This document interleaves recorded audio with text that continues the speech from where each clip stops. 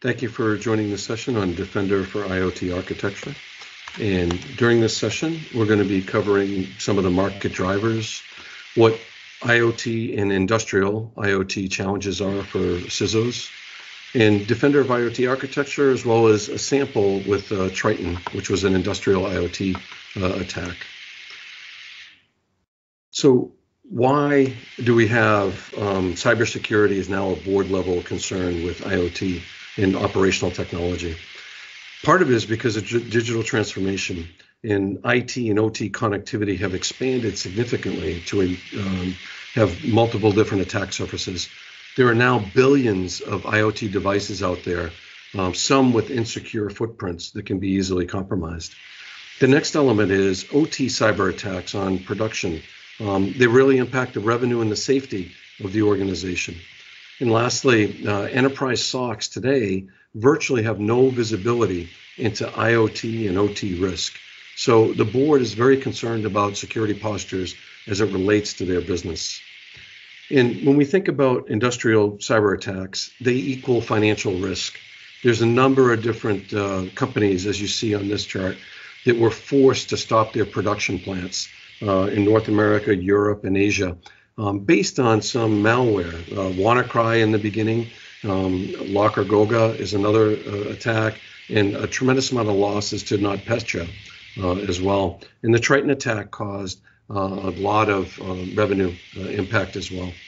But if we look at the top industrial and IoT challenges for CISOs, um, there's a number of them. Certainly not a complete list, but you can see up here that um, IT and OT are convergent to support the business need. And in the past, we had security by obscurity uh, with air gap systems, and things like that just aren't relevant anymore. There's a lot of interconnected devices. You look at IoT sensors, and they're cloud connected, um, smart metering, things like that um, have a big impact as uh, IT and OT are converging. Um, the next element is IT devices cannot support agents in some cases or other security controls. So you need a different way to monitor and to look at what is normal and abnormal behavior. Uh, another item is that IoT devices are dramatically increasing, as I mentioned, the attack surface for the enterprise. Right? Um, it's stated that there are going to be more IoT devices than uh, PCs and laptops in the coming years. So this is another footprint that needs to be secured. Lack of visibility by the IT and security teams um, in general, the plant engineering team and the OT environment is invisible to IT unless they put in um, monitoring systems and things like that. And there's a cultural divide. So part of these uh, elements where the plant doesn't know specifically what devices they have or how they're connected. So visibility is really another concern. Another element is complexity and heterogeneous uh, in nature when you look at a manufacturing line, there's not just one uh, specific automation vendor that is used for the entire plant or the entire design. So uh, complexity and uh, heterogeneous nature is definitely an element. Another piece is unpatched uh, Windows systems because the automation vendors, when they build their engineering workstation, HMIs and historians, they build it with a specific application in mind, and it wasn't um, really viable to go through all the Windows patching like that that occurred so that they would certify on every release. So this is really a big challenge for the OT environment. And lastly, um, it's a challenge to get IT security personnel, let alone ICS security personnel. And so they're finding like a needle in the haystack in some cases to find those security personnel. But with Defender for IoT, it fits within the Microsoft portfolio within Azure Security Center within the IoT solution, right? And Defender for IoT will forward the alerts and alarms up to Azure Sentinel, and we'll talk about that in the coming slides. But from an architecture perspective, it's simple, it's non-invasive, and it works at the network layer monitoring. And so what happens is there's a span port that is connected off of the network switch where the network uh, packets are captured and you see the CyberX uh, appliance, the Defender for IoT appliance, and it could be used either virtual or a physical appliance. And essentially, it's stripping off the network headers where it gets to the application layer And this is where we do the deep packet inspection, right? So that we can build the topology maps, identify what are these devices. This is an icon for a PLC, for example, and this is an icon for an engineering workstation. Um, so these are just the uh, devices that are identified passively off the network. And from there, we're going to forward our information to Azure Security Center, or you could have a local web console uh, on-prem as well. And we'll give you the visibility of the assets of what's on your network, what are the vulnerabilities and the threats associated with that. And lastly, we can forward the information and alerts over to a SIEM or SOAR like um, Azure Security Center, uh, as well as uh, Sentinel and other uh, SIEMs like Splunk and so forth. In addition, we can forward the alerts to the SIEM or SOAR platform, Azure Security.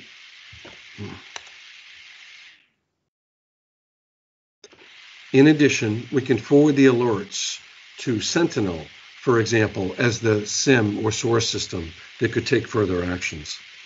So these are the challenges that are addressed by Defender for IoT. And we can deal with asset discovery. So we'll identify what assets are on the network, and you can easily implement uh, segmentation and zero trust policies. We'll look and identify what is the risk and vulnerable uh, vulnerabilities associated with these devices. So you can answer questions like what is the risk to our crown jewels in the environment. We'll do continuous monitoring and threat uh, intelligence, right? So we'll know how IT and OT threats are on the network and if we quickly have to respond to them. In addition, since we're monitoring the OT network, we'll understand if there's operational efficiencies that can be gained, if there are misconfigured devices, or if there's a compromise within the, the network as it sits today, as well as unifying IT and OT monitoring and governance by helping get visibility into the SOC so that the people in the information security world can understand what's happening in the OT uh, networks as well. So those are some ways that we'll be able to address for client. And if we look at a sample uh, attack, Triton was a recent attack on a petrochemical facility, and it had a deadly goal. Its goal was not to simply just destroy the data, like you see in some IT-related attacks, but it was meant to sabotage the firm's operation and to trigger an explosion. Here's the kill chain for Triton, for example. and in the previous videos, these reference numbers, L0, L1, are referencing the Purdue model.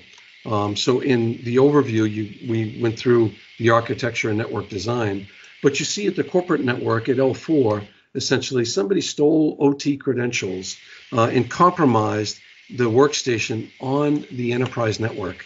From there, they were able to hack through the firewalls and compromise the engineering workstation on the OT environment. And they deployed PC malware. And from there, they installed a RAT, a remote access Trojan, on the PLC. And their goal was to disable the safety system. And they used the native TriStation protocol in order to reprogram the PLC. And their intent was to disable the safety system and to launch a second cyber attack to blow up the facility. So if we look at some of the alerts and in the timeline of what we could do with uh, a Microsoft solution, Windows Defender uh, ATP could generate some alerts and send them over to Azure Sentinel. Um, the Defender for IoT has the ability to look at anomalies. And so we could simulate some of the anomalies, and this would be an unauthorized RDP session from the corporate network into the engineering workstation.